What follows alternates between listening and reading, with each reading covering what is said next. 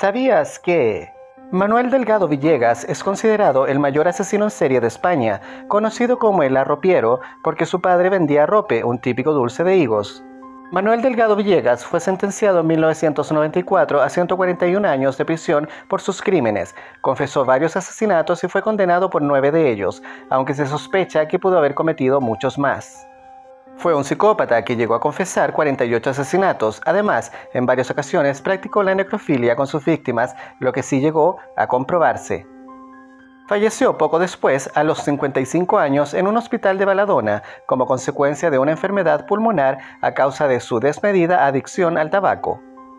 ¿Y tú conocías este caso? Comenta, me gustaría tu opinión. Hasta un próximo Shorts, amigos. Chao.